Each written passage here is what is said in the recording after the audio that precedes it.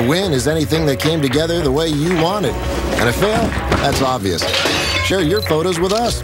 Tag the wins and the fails. DIY Network.